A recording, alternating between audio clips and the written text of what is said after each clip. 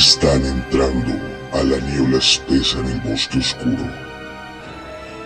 Dirección desde el inframundo por Juanma Florian. Locución Lobo Templario AC. Bienvenidos a la hora del lobo.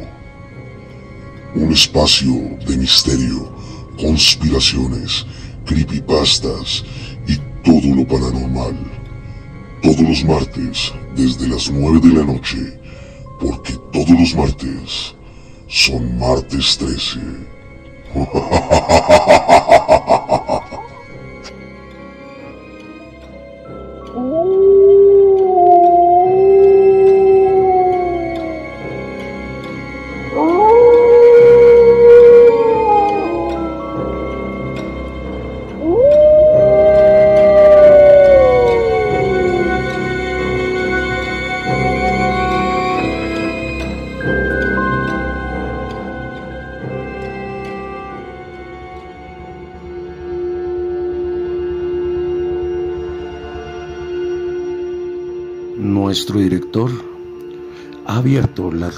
nacionales para que todos podamos entrar a la niebla espesa del bosque oscuro.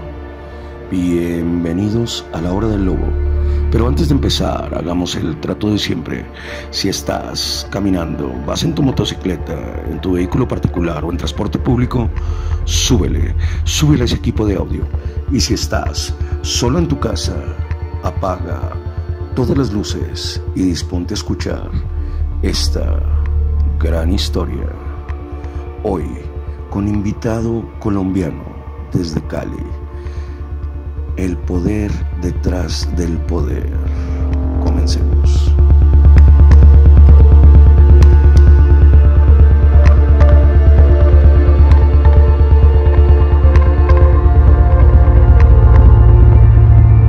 Bienvenidos a la cuarta temporada.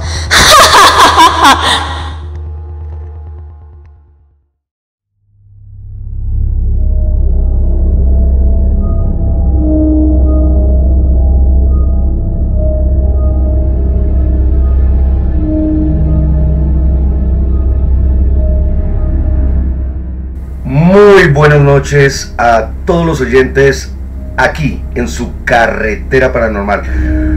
Hoy, un martes más, como ustedes saben, todos los martes son martes 13. Y empecemos mandando un saludo a todos los moteros que nos están escuchando en toda Hispanoamérica, desde la madre patria de España hasta nuestros hermanos de México, hasta la Patagonia. Muy buenas rutas, muy buena energía a todos ustedes. Hoy, para entrar a este agujero negro a este, esta madriguera de conejo, a esta niebla espesa del bosque oscuro, tenemos un gran invitado. ¿Y por qué seguimos con esto?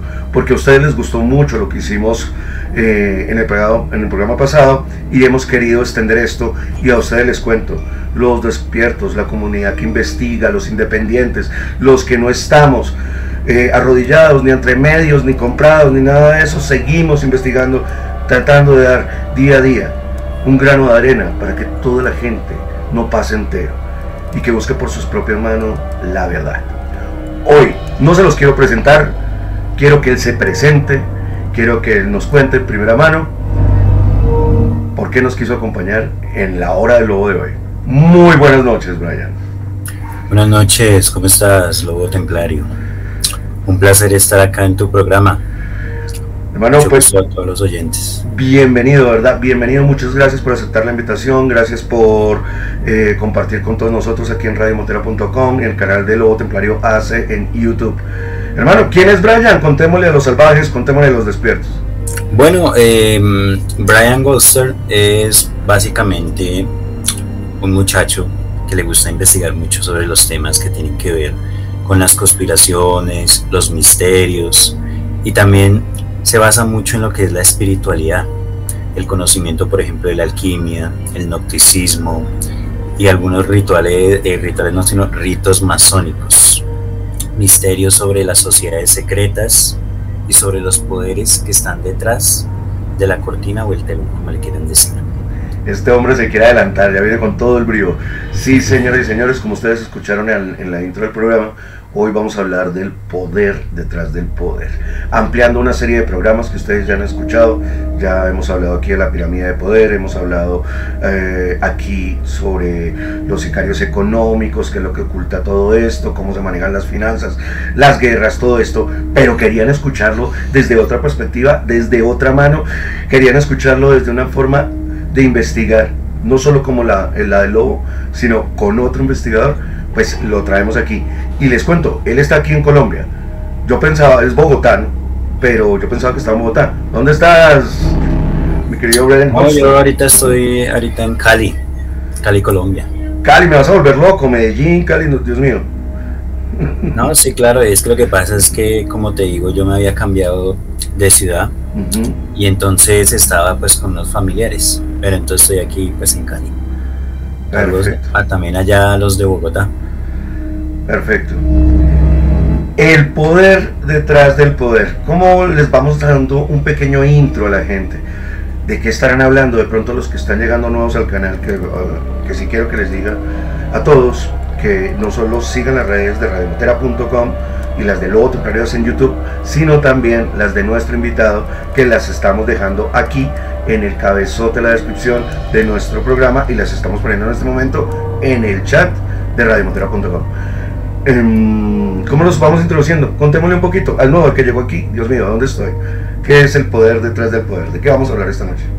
Bueno, eh, esta noche vamos a hablar sobre lo que significa el poder oculto y desde básicamente desde el imperio egipcio quiénes son los que han tratado de esclavizar a la humanidad porque ese siempre ha sido su objetivo esto viene precisamente desde el faraón Kefren que es la interpretación de la gran pirámide de Giza.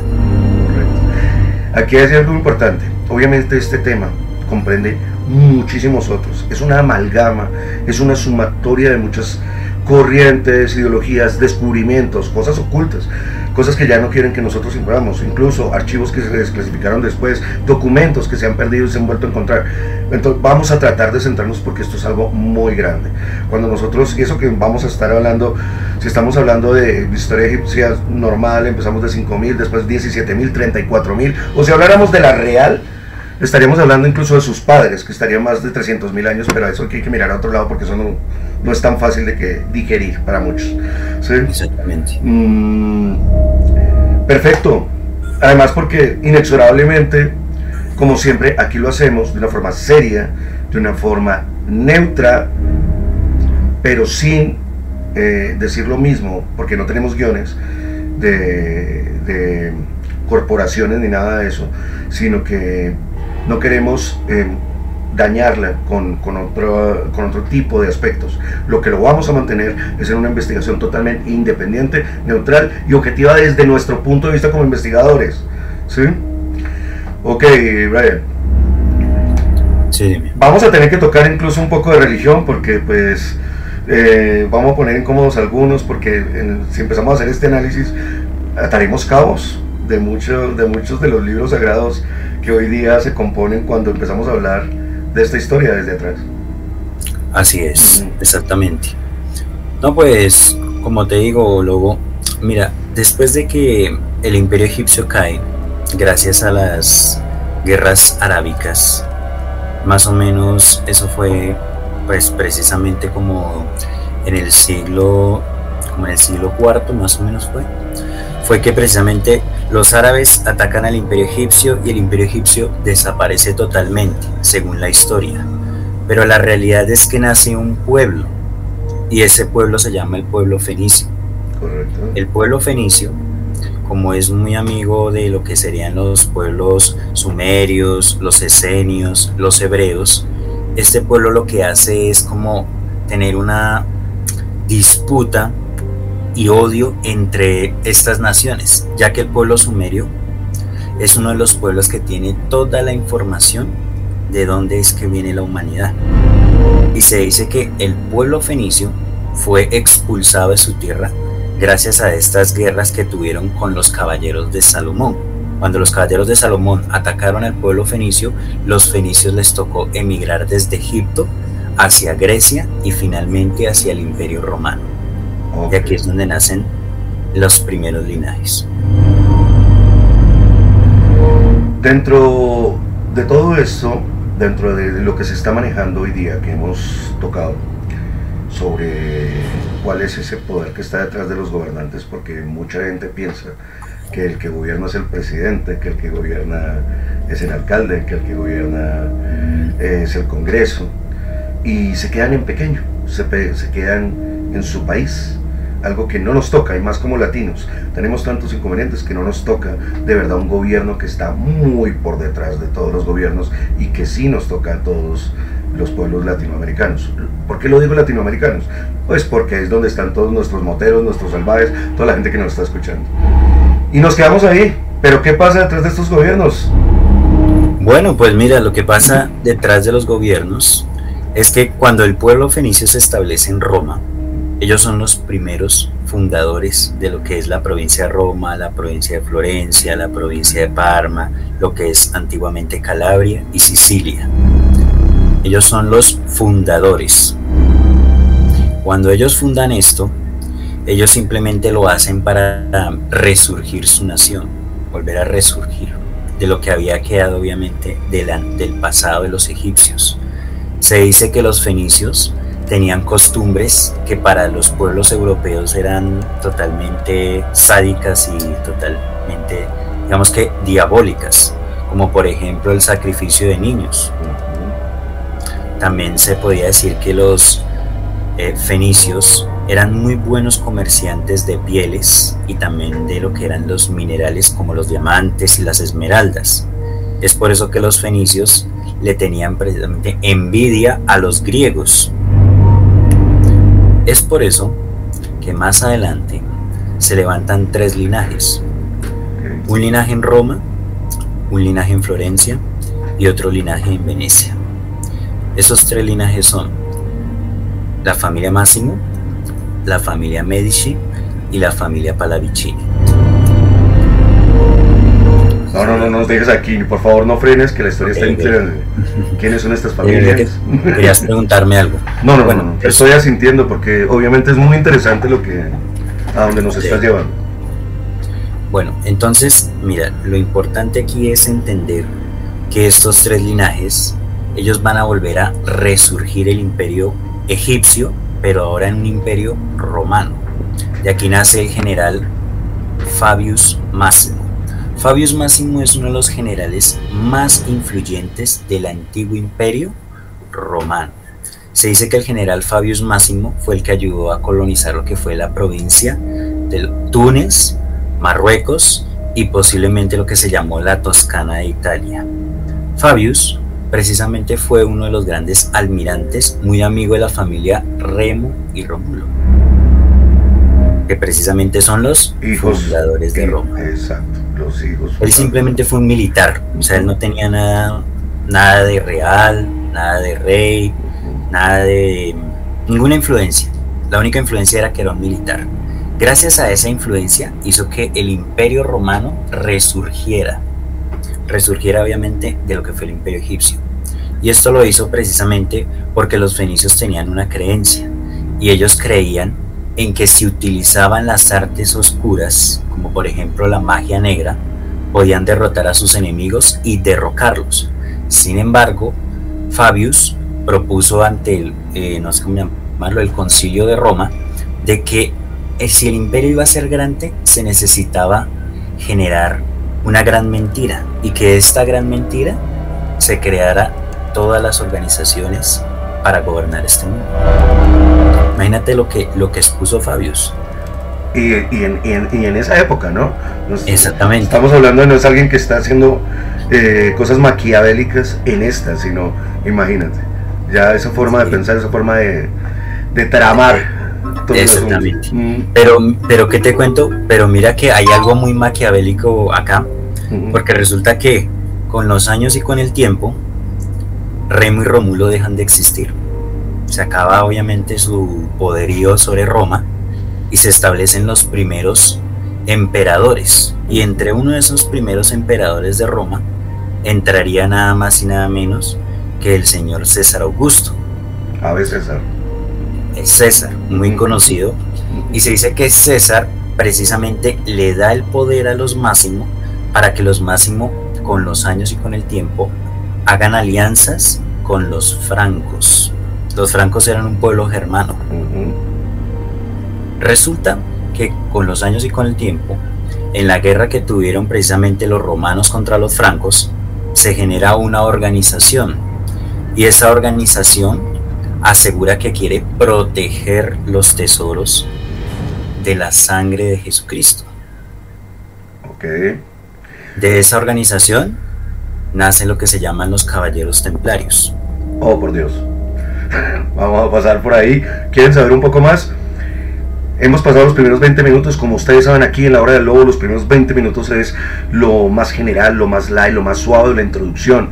Vamos a entrar a los siguientes 20 minutos ahí, metiéndonos poco a poco a la niebla espesa del bosque oscuro, eh, ya siendo un poco más enfáticos y la investigación un poco más menuda. Pero ¿quieren saber? No se vayan. Ya regresamos.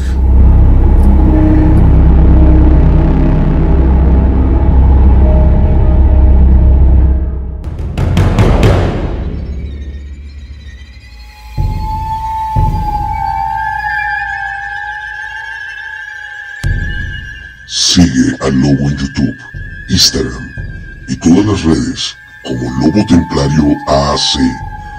Y si no, que os lleguen visitantes en la noche.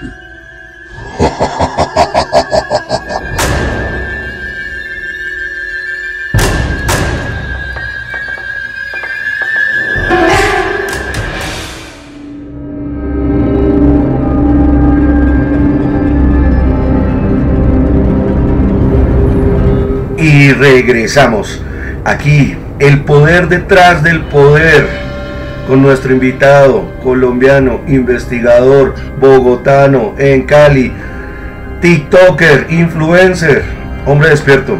¿Y qué pasó, hermano, que nos dejaste en, en Ascuas? Bueno, como tú dices que ya tú tienes la, la historia de los templarios, no es necesario contarla.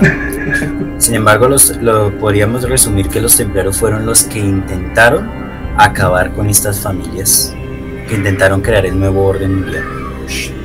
Pero desafortunadamente los templarios tuvieron que excluirse. Lo curioso es que Fabius Máximo, hoy en día y en la actualidad, tiene mucha influencia, como por ejemplo hay un movimiento, hay un movimiento que queda en Londres, Reino Unido, que se llama la Sociedad Fabiana Sí. y tiene el mismo escudo antiguo de la familia Máximo. Y hace referencia a que velan por una sociedad equilibrada, donde todas las personas tendríamos que estar dentro de un solo sistema y un solo gobierno y una sola moneda y una sola religión. Puedes buscar sociedad fabiana. Sí, sí, sí. Esta sociedad fabiana resulta que tiene tanta influencia en el mundo que es la base central de la Unión Europea. Interesante. Pero hablemos de cómo inician. Bueno, pues hoy no estamos hablando de sectas, Sí. de... Para mí no son órdenes, para mí solo existen dos órdenes, y, pero digamos estas sectas, estas agremiaciones bajo el control y el miedo poblacional, bajo el control y el miedo financiero de crecimiento de toda la humanidad. Entonces, pasa esto, viene Templo de Salomón, pasa, pasa todo esto, estamos hablando de milenio 1114, creación de los templarios, eh, 1300 ya había tenido la caída por, por el Papa Felipe el Hermoso, ahí hay una, una segregación, se disuelven, no, no es que se desaparezcan, sino sencillamente hay un oculto, se, se ocultan toda la orden del temple. Y bueno, aquí déjame hacer ese aporte. Para los que no saben, y esto es un poco complicado, obviamente lo que voy a hablar, no es que lo vayan a encontrar en, el- en la biblioteca fácilmente o en San Google, pero ¿qué es lo que pasa? Muchas de estas cosas, cuando se, eh, la orden tiene la premisa de ocultar, de sacar todas sus reliquias, de eh, no dejar esto a esa infamia que se hizo con los caballeros hospitalarios bajo la orden del Papa en ese momento, primo de Felipe el Hermoso en su momento. Mm, lo que ellos hicieron fue ocultarse y unos salir, irse para otros lados. En ese momento, dentro de la historia del temple se llamó el pacto con el diablo. Y no quiere decir que es que los templarios estaban con el diablo. No, es que a raíz de tratar de ocultar información, tesoros, eh, maestres, comandantes, eh, senescales, mariscales, todo esto, tuvieron que reunirse con una poroto, o sea, un inicio, y aquí es donde yo sé que tú vas a continuar, un inicio de personas que estaban empezando a hacer esta sociedad del martillo. ¿Sí? Entonces, digamos, hagamos, negociamos, negociemos. Ustedes quieren control, nosotros tenemos información, están así ávidos. Unos, unos maestros no estaban autorizados, pero decidieron negociar con ellos cambio de algo de información de lo que se podía. No se le entregó todo, pero sí se informa, sí hizo cambio de información. Y esto fue tan enriquecedor para estas personas de los martillos y el sextante. ¿Sí? Que se formó lo que vamos a escuchar de ti ahora. Bueno, eh, después de que los templarios hicieron negociaciones con el Vaticano, se dice que parte de lo que tenían los templarios pasó a estar dentro de la guarida del Vaticano. Y precisamente el Vaticano tenía el poder sobre las órdenes alquimistas, como por ejemplo los Rosacruces, y también sus primeros enemigos y mayores aliados, los masones. Los masones y los Rosacruces trataron de interpretar el contenido que tenían los libros antiguos del rey Salomón, las cartas del rey Salomón y obviamente los conjuros y no sé cómo llamarlo, claves que tenía el rey Salomón. Sí, eh, códices, dentro de la orden se le, se le hablaba como códices. Exactamente. Esto hizo que precisamente la élite que gobierna el mundo utilizara el mundo espiritual para gobernar el mundo físico. Correcto. Interesante, y continuemos.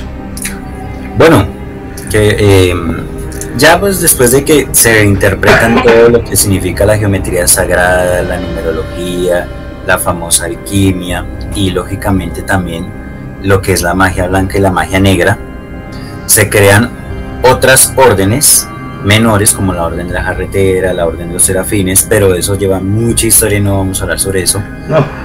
Las familias que controlan este mundo que son los máximos, los Medici y los Pallavicini, ellos crean un club y se llama el Club de Roma. El Club de Roma es un club que firma un pacto a nivel internacional para supuestamente velar por lo que es eh, la lucha contra la desigualdad económica, la paz y seguridad, las guerras, el, sector de la, el sector de la educación, el sector de la salud, también se encuentra lo que las políticas monetarias. Y lógicamente también lo que significaría como por ejemplo el bienestar para los derechos humanos. El Club de Roma en 1789 es fundado. 1789 es fundado y precisamente este club con los años y con el tiempo utilizan a agentes y esos agentes es la unión entre los iluminados y la nobleza negra. Ok, y acá llegamos a un punto que yo sé que mucha gente está... ¿Cómo, cómo, cómo, cómo? Los iluminados. sí, por eso. En este momento hemos llegado a un punto donde la gente... ¿Cómo dijiste Illuminatis? Dijiste nobleza negra. Entonces, ¿qué pasa con ellos?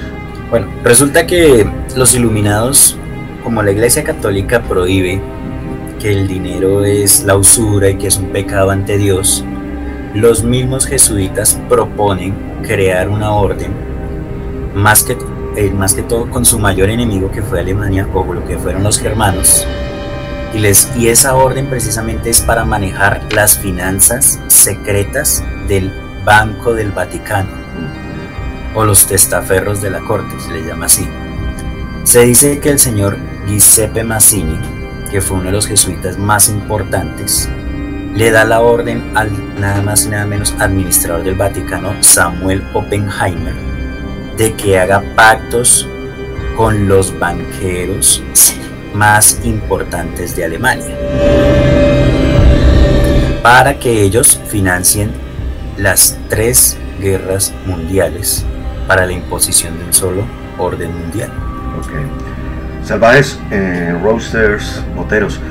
Esto, si ustedes se están dando cuenta, se está pareciendo mucho un programa que hicimos sobre, que se los aconsejo al que no lo haya visto, al que no lo haya escuchado, que se llama El Titanic nunca se hundió y el por qué no lo hizo. Se van a dar cuenta que hay cosas que, se están agarrando así dentro de la investigación que hicimos con lo del Titanic.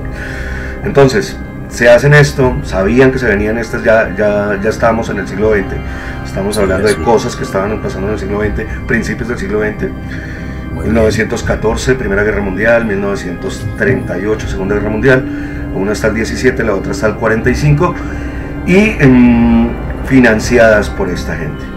¿Y qué pasa? No, y ya después de que los iluminados precisamente se vuelven una orden muy poderosa de los jesuitas, porque es una orden jesuita, la orden jesuita mayor, ellos deciden también crear su propio club. Y precisamente las familias que pertenecen a los iluminados, ellos se van hacia los Países Bajos y tratan de unir el dinero de ellos para financiar a los próximos reyes. Y aquí se llama algo que se sale el Club Bilderberg. Los Bilderberg, los famosos Bilderberg, ok. Entonces, ya entendiendo que existe el Club de Roma, que es el que literalmente da las órdenes de qué es lo que se debe hacer en este mundo, y curiosamente si tú te das cuenta gráficamente y buscas el Club de Roma, va a aparecer precisamente parecido al de la Organización de las Naciones Unidas. Es muy parecido la temática del simbolismo. El Club Bilderberg se crea precisamente para unir más adelante a políticos, empresarios, también gente famosa, empresarios de la música, empresarios de la industria del cine, de pronto también empresarios de farmacéuticas, algunos podríamos decir que presidentes de deportes, como por ejemplo varios clubes, y etcétera de personas que tengan influencia en este mundo. Todos ellos se reúnen junto a las demás órdenes y planean las fases más importantes que se vienen para cada año. Pero ellos pactan de que la reunión se debe hacer cada cuatro años, parecidamente a como se escoge el presidente curiosamente.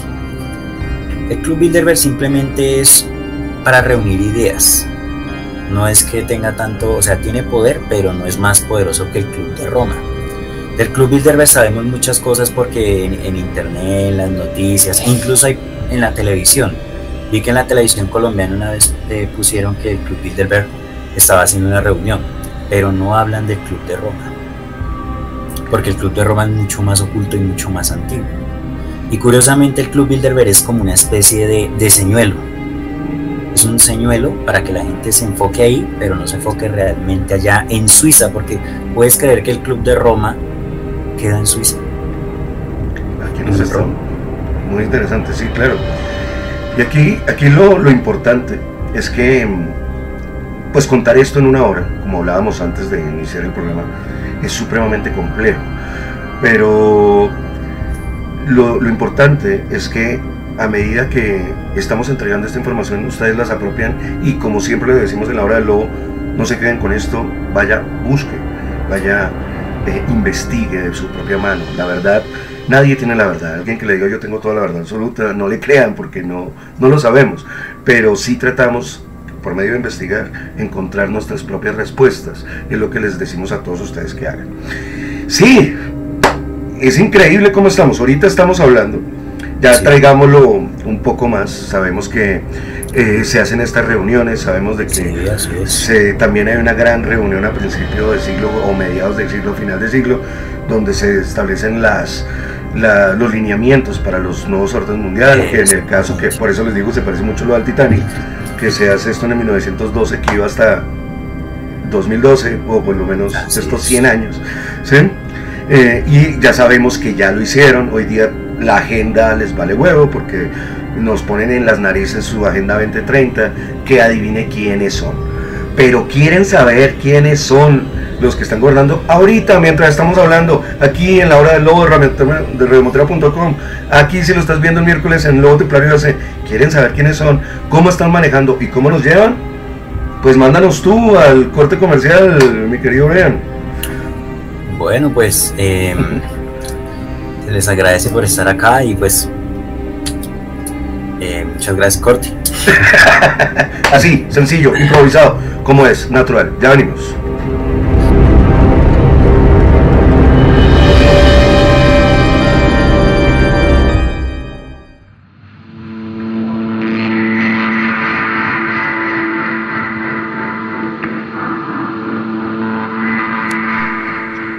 Déjanos tu opinión en el video de YouTube o en el Instagram de Nuevo Templario AC para tertuliar de temas que te interesen, así como los saludos para el siguiente programa. Solo aquí, en Radio Motera, la carretera de lo paranormal.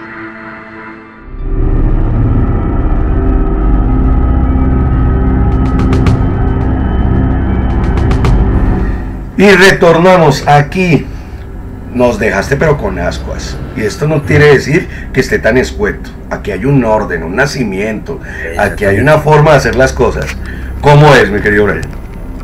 Bueno, eh, precisamente la familia de los iluminados, primero hay que conocer al Consejo de los Trece. El Consejo de los Trece, según la carta de Oppenheimer al Vaticano, precisamente es la familia Goldman, la familia Warburg, la familia Werheimer, la familia Rothschild, la familia Dupont, la familia Giannini, la familia Montagu, la familia Keynes, la familia Sutherland y los Morgan y los Rockefeller.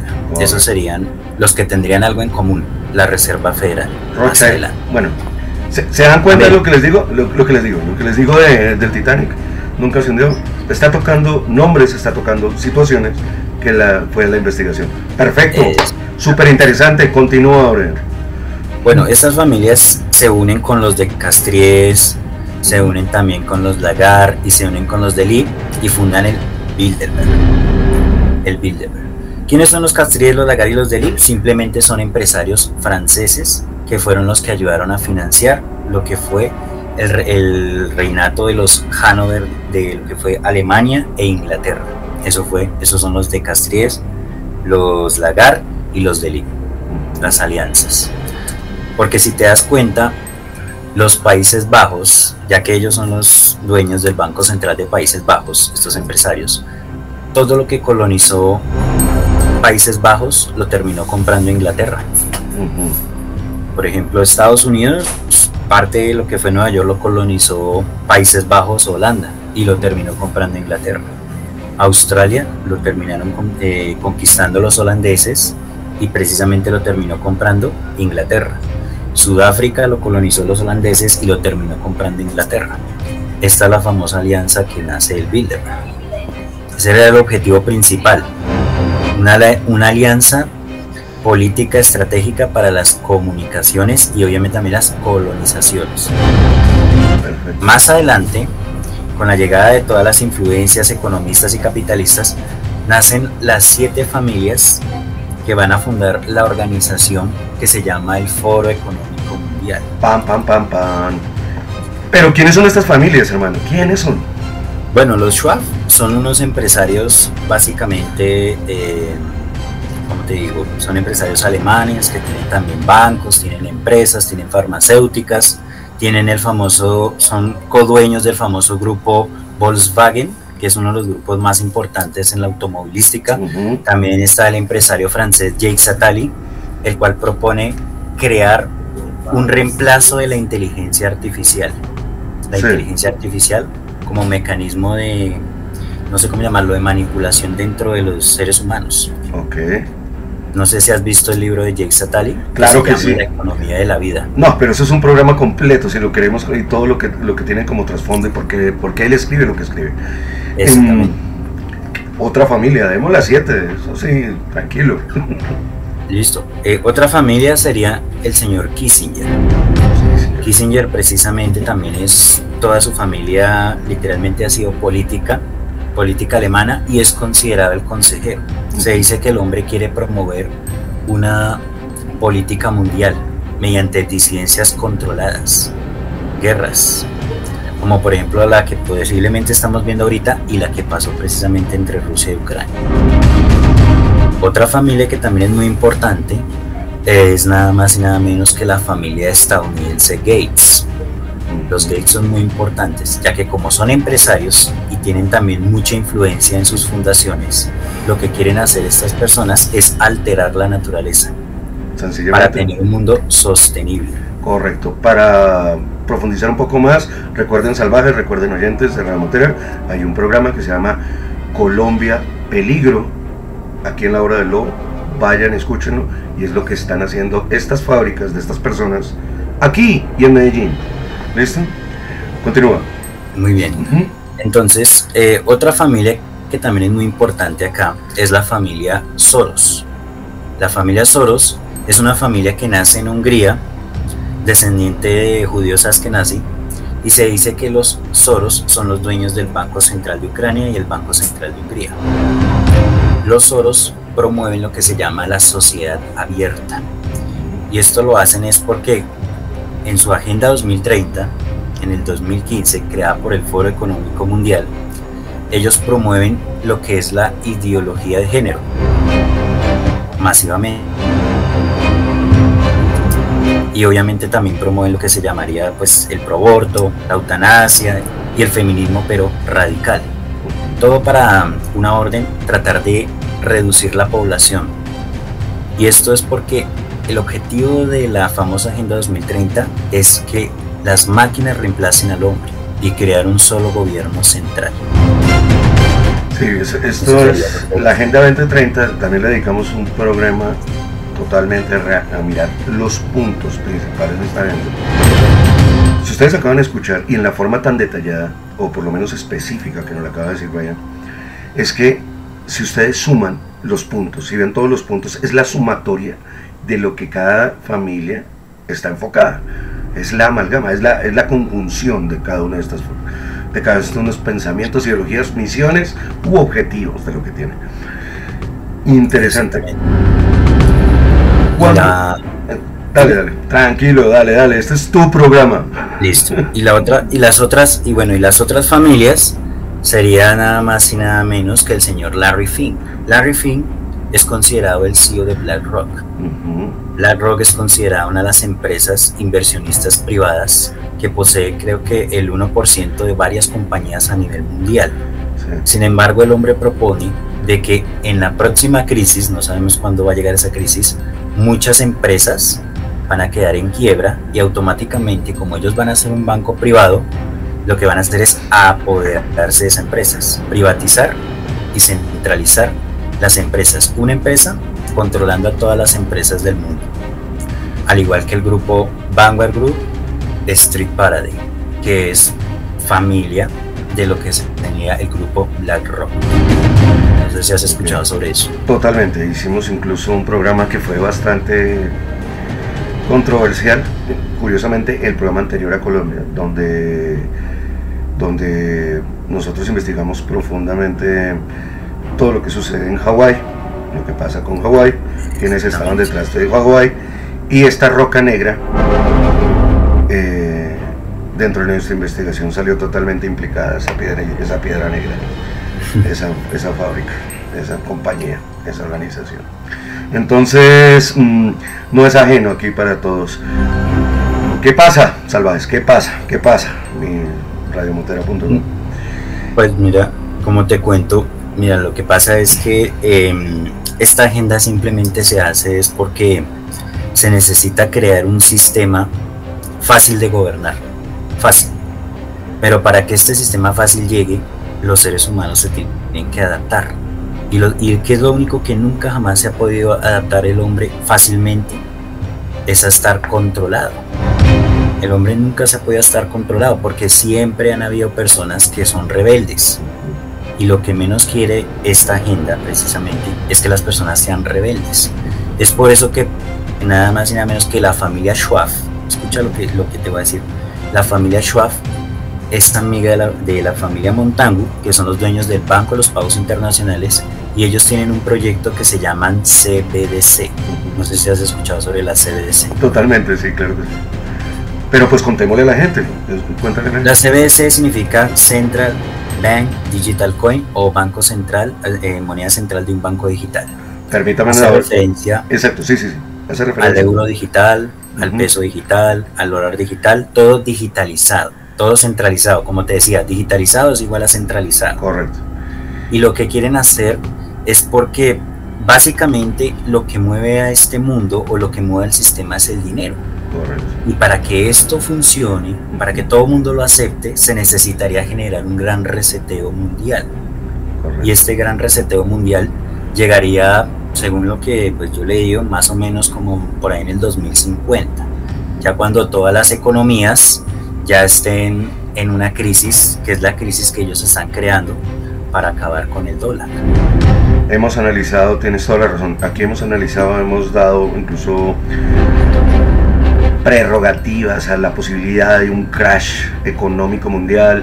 Hemos hablado, efectivamente, recuerden el programa que hicimos después de que hicieron lo de las momias de Nazca, que estuvimos hablando de Maussan, que yo les hablaba en las noticias generales que estaban pasando, que podía, de pronto esta noticia para los latinos la utilizaron también para que no nos diéramos cuenta sobre las pruebas de los orbes que estaban digitalizando las biometrías en Europa y dándoles sencillamente un subsidio. Bueno, aquí en Latinoamérica estamos acostumbrados al subsidio. El subsidio, ahí va corriendo el, el pobre y el que no lee. Entonces va corriendo detrás del subsidio.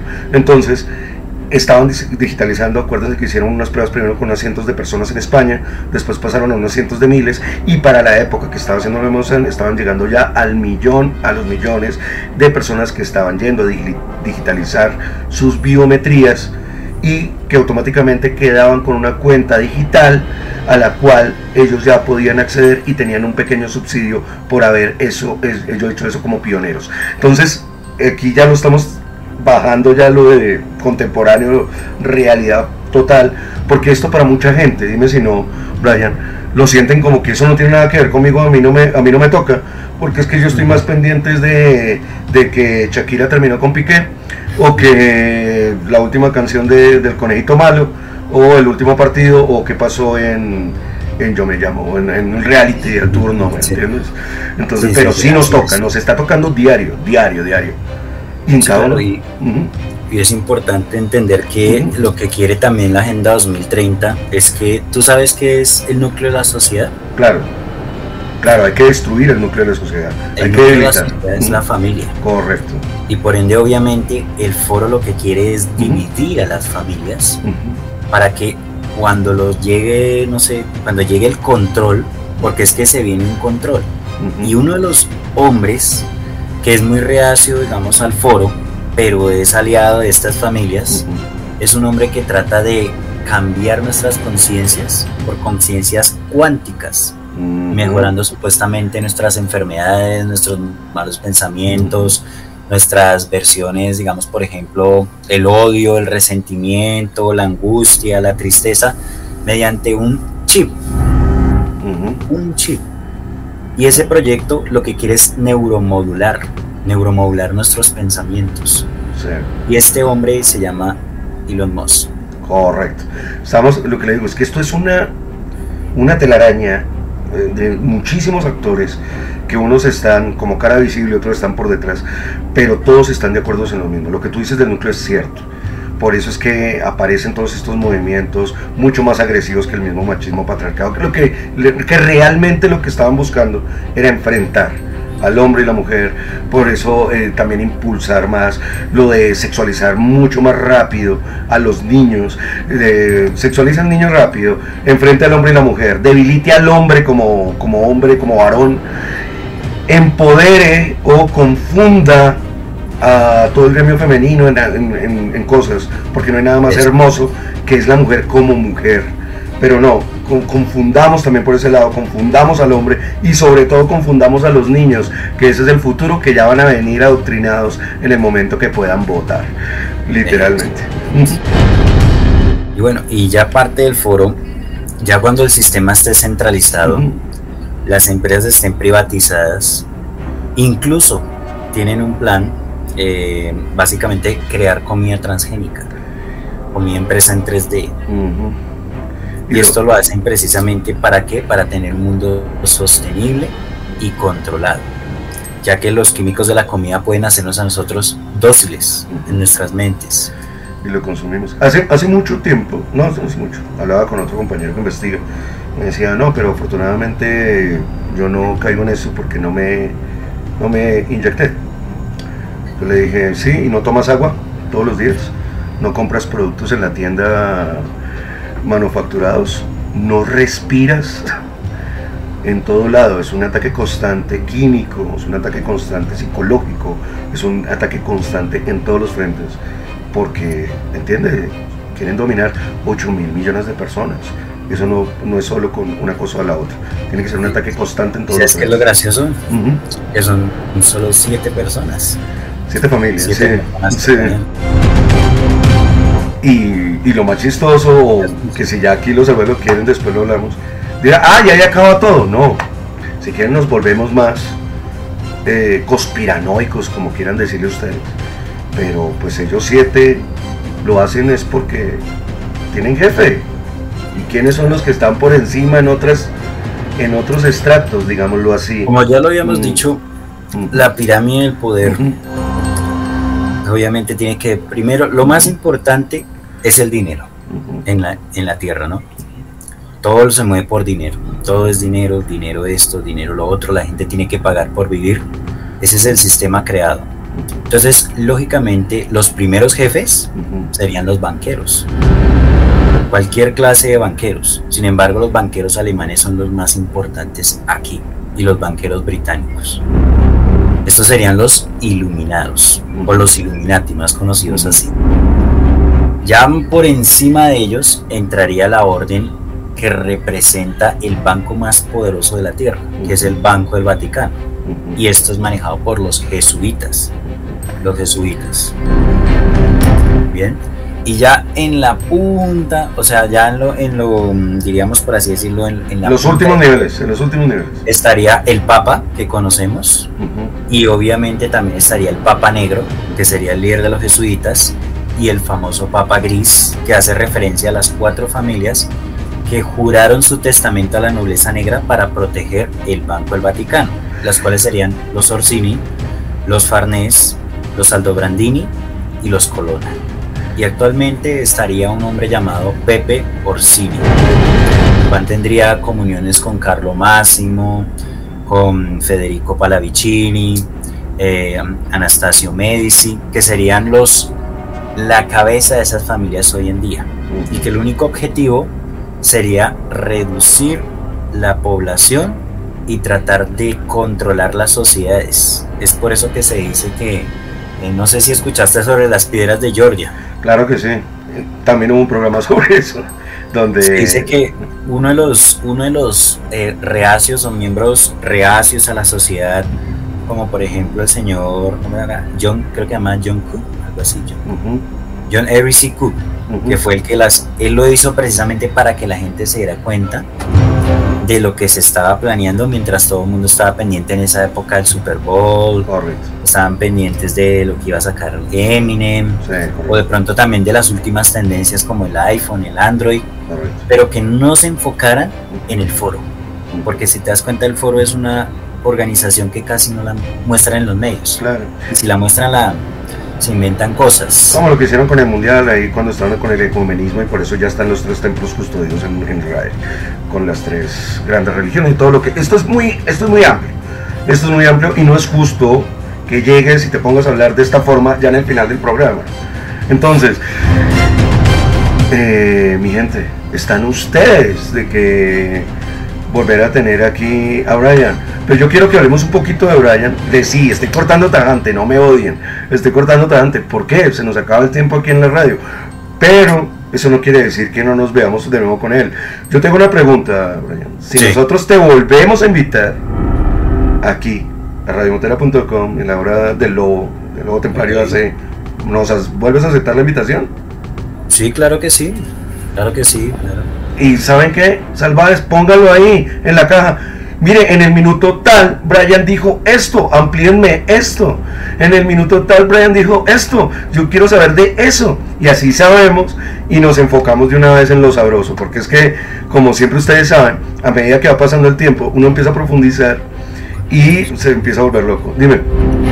No, pues que te iba a decir que es importante aprender sobre la historia para no repetir la historia. Totalmente, es que así sea la historia totalmente antigua o la historia nomás hace 30, 50 años. Y así dejamos de votar como votamos, así dejamos de pensar como pensamos y así dejamos de tener los errores que tenemos como los tenemos todos los días. Pero yo no quiero cerrar aquí, yo quiero que la gente sepa dónde te encuentran, porque yo eh, he estado en varios live contigo y me pegas hermano, yo quiero hacer cosas y no, me toca poner el celular al lado. ¿Dónde estás? ¿Cuáles son tus redes? ¿Cómo te siguen? Bueno, miren, eh, para los que están escuchando el Lobo Templario, eh, pueden buscar a Brian Goldster en mis redes sociales, primera, primordialmente en TikTok como Brian Goldster. También me pueden buscar en Instagram como Brian Goldster, me pueden buscar en Twitter como Brian Goldster y también en YouTube como Brian Goldster. Brian Goldster, Brian Goldster, Brian. Ya saben. También, no se les olvide también que yo también hago conferencias, también hago conferencias todos los sábados sobre diferentes tipos distintos de temas, como por ejemplo el que estábamos hablando ahorita, la nobleza negra, los iluminados de Baviera, los famosos caballeros templarios, los caballeros de Salomón, la francmasonería, los rosacruces, los sionistas, los globalistas y diferentes tipos de temas como por ejemplo la tierra hueca, podríamos hablar también de eso. Son temitas, oye, estás tocando temas deliciosos, Brian, deliciosos, de verdad. Yo no sé, y aquí esto puede ser un bombazo, lo estábamos guardando para el último programa de, esta temporada que nos quedan ya menos de cuatro programas. Eh, nos quedan cuatro programas nada más de esta temporada y volvemos hasta febrero, porque ya en la quinta temporada. Pero les íbamos a dar un regalo en la cuarta temporada y esto es lo que hace Brian, ¿sí? empieza a dar temas tan sabrosos que, que, nos hace decir cosas, nos hace decir cosas.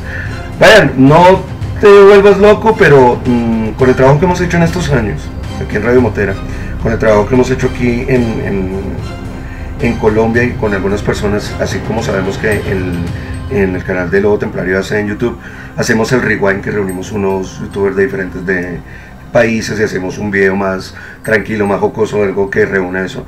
También en la otra parte del canal, que es lo que hacemos aquí en radiomotera.com, que es toda esta parte paranormal, toda esta parte de investigación, de conspiración. También estamos haciendo algo bastante interesante. Y aquí, siéntense, mis queridos moteros. Eh, como algunos ya lo saben, que hemos estado reuniéndonos con personas que realizan los festivales de de investigación, otros de terror, otros de cine, otros de cultura.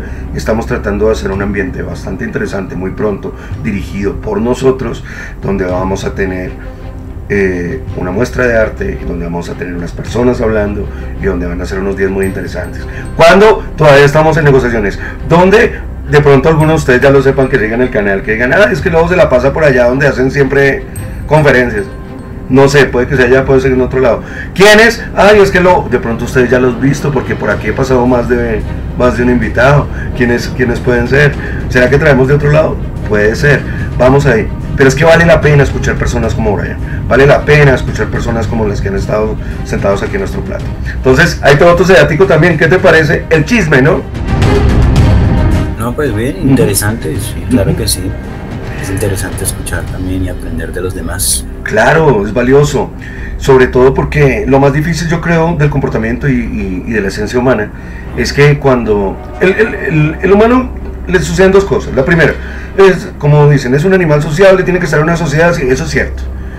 Pero ya dentro de esa sociedad, humano, el, cada, la persona quiere destacar, quiere subir, quiere mostrar.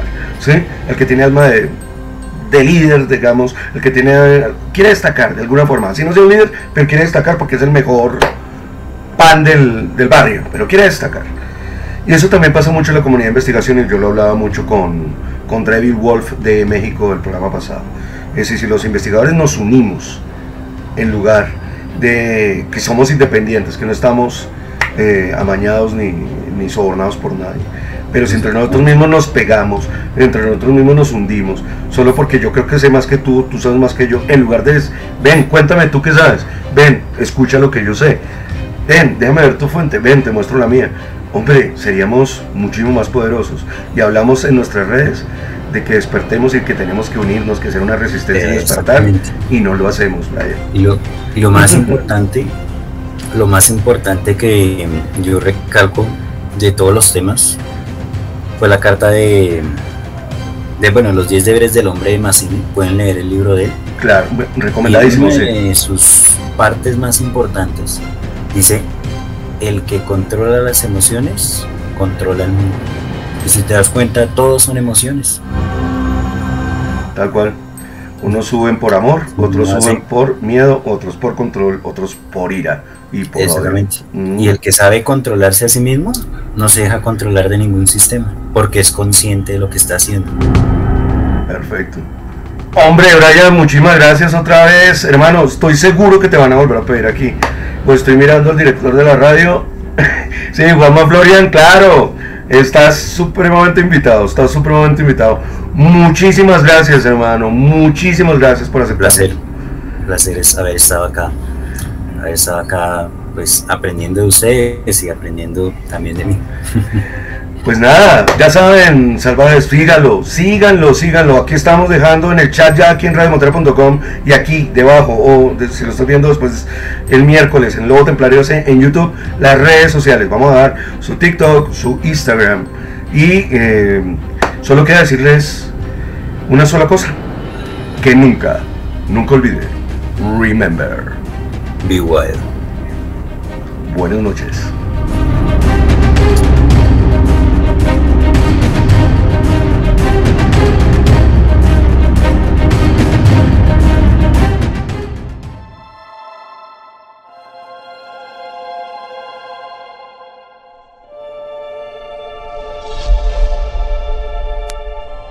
Has sobrevivido a otra noche de la hora del lobo. Considérate afortunado. Esta noche, cuando apagues todas las luces, ten en cuenta que nunca estás solo. Y no olvides, remember, be wild.